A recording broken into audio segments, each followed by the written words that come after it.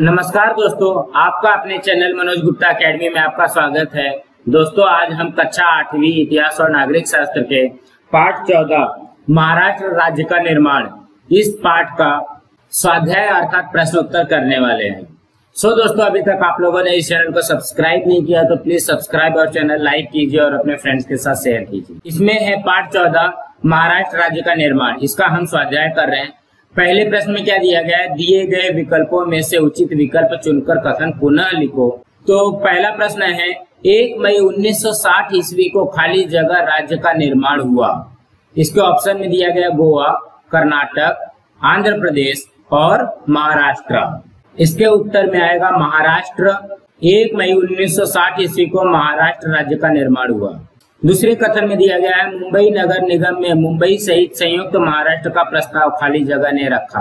पहला है, ग त्रैण दूसरा है, आचार्य त्रे, तीसरा है, द वा पोदार और चौथा है शंकर राव देव। तो इसके उत्तर में आएगा आचार्य अत्रे मुंबई नगर निगम में मुंबई सहित संयुक्त महाराष्ट्र का प्रस्ताव आचार्य अत्रे ने रखा।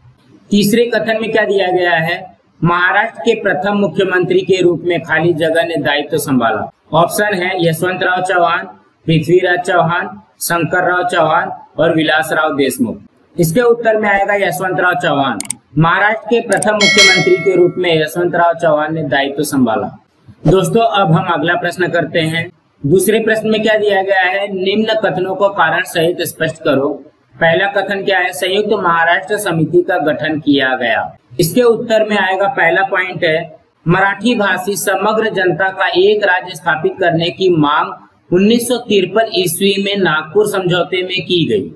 दूसरा है, मुंबई सहित संयुक्त महाराष्ट्र राज्य की स्थापना को केंद्र सरकार की ओर से कोई आश्वासन नहीं मिल रहा था। तीसरा है, अनेक सभाओं, जुलूसों और हड़तालों के द्वारा संयुक्त महाराष्ट्र की मांग के लिए संघर्ष तीव्र होता गया। और चौथा है, संयुक्त महाराष्ट्र की मांग की समस्या गंभीर होती गई, जिसके कारण पूरे राज्य में असंतोष दतक रहा था। ऐसी स्थिति में 6 फरवरी उन्नीस सौ छप्पन ईस्वी को केशव राव जेधे की अध्यक्षता में पुणे में हुई सभा में संयुक्त महाराष्ट्र समिति का गठन किया गया। दोस्तों, अब हम अगला प्रश्न करते हैं। दूसरे प्रश्न में क्या दिया गया है? संयुक्त महाराष्ट्र के आंदोलन में समाचार पत्रों की भूमिका महत्वपूर्ण थी। तो इसके भी उत्तर में चार पॉइंट दिया गया। पहला क्या है? संयुक्त महाराष्ट्र के आंदोलन के समय में प्रबोधन, केसरी, सकाल, नवाकार आदि समाचार पत्रों के माध्यम से संयुक्त महाराष्ट्र के आंदोलन के विषय में जानकारी दी जाती थी। दूसरा है, आचार्य अत्रे के मराठा समाचार पत्र ने आंदोलन के समय में उल्लेखनीय कार्य किया। तीसरा है, बाला साहब ठाकरे ने मावड़ा उपनाम से नवयुग तथा मार्मिक के माध्यम से कार्टून बनाकर जन आंदोलन को व्यापक बनाया। चौथा है, संयुक्त महाराष्ट्र संबंधी भूमिका, जनता की इच्छा, आंदोलन, लोगों में व्याप्त असंतोष आदि के विषय में जानकारी देकर समाचार पत्रों ने बड़े पैमाने पर जन जागृति लाने का कार्य किया। इस प्रकार इस आंदोलन को व्यापक बनाने में समाचार पत्रों की भूमिका महत्वपूर्ण थी। दोस्तों, अब हम अगला प्रश्न करते हैं। तीसरे प्रश्न में क्या दिया गया है? टिप्पणी लिखो। पहला क्या है? संयुक्त महाराष्ट्र परिषद। इसके ऊपर टिप्पणी लिखना है। इसके उत्तर में आएगा, पहला है 12 मई 1946 ईस्वी को बेल गाँव में साहित्य सम्मेलन का आयोग किया गया, जिसमें संयुक्त महाराष्ट्र के संदर्भ में महत्वपूर्ण प्रस्ताव पारित किया गया। दूसरा है, इस पृष्ठभूमि पर 28 जुलाई 1946 ईस्वी को मुंबई में शंकर देव राय की अध्यक्षता में महाराष्ट्र एकीकरण परिषद का आयोजन किया गया। तीसरा है, इस परिषद में मराठी भाषी प्रदेशों को मिलाकर एक प्रांत बनाने की मांग की गई। और चौथा है, इस मराठी भाषी प्रांत में मुंबई, मध्य प्रांत का मराठी भाषी क्षेत्र, मराठवाड़ा तथा गोमंतक को मिलाने का प्रस्ताव पारित किया गया। सो दोस्तों, अब हम अगला प्रश्न करते हैं। क्या दिया गया दूसरे प्रश्न में संयुक्त महाराष्ट्र समिति का योगदान? इसके उत्तर में आएगा संयुक्त महाराष्ट्र की स्थापना में संयुक्त महाराष्ट्र समिति ने निम्नलिखित योगदान दिए हैं। उसमें से पहला है, संयुक्त महाराष्ट्र आंदोलन को महाराष्ट्र के गाँवों और देहातों तक पहुँचा दिया।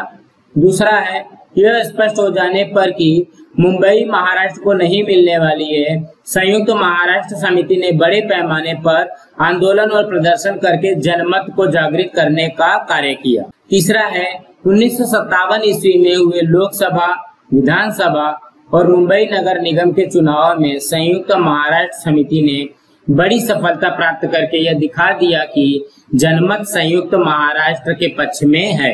और चौथा है, प्रतापगढ़ पर छत्रपति शिवाजी महाराज की अश्वारूढ़ प्रतिमा का अनावरण करने के लिए आए प्रधानमंत्री नेहरू के विरुद्ध समिति के कार्यकर्ताओं ने जोरदार प्रदर्शन किया। परिणाम स्वरूप केंद्र सरकार संयुक्त महाराष्ट्र का निर्माण की मांग के अनुकूल हो गई। दोस्तों, अब हम अगला प्रश्न करते हैं।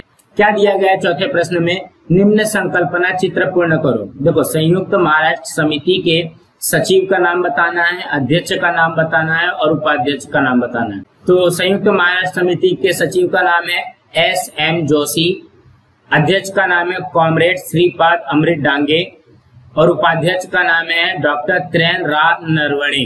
सो so, दोस्तों आप लोगों को ये वीडियो कैसा लगा आप लोग कमेंट बॉक्स में ज़रूर लिख के बताइए ताकि हम इसको और भी ज़्यादा इम्प्लीमेंट कर सके और भी ज़्यादा अच्छी तरीके से बना सके। और दोस्तों इस चैनल को लाइक कीजिए अपने फ्रेंड्स के साथ शेयर कीजिए और सब्सक्राइब कीजिए। नमस्कार दोस्तों।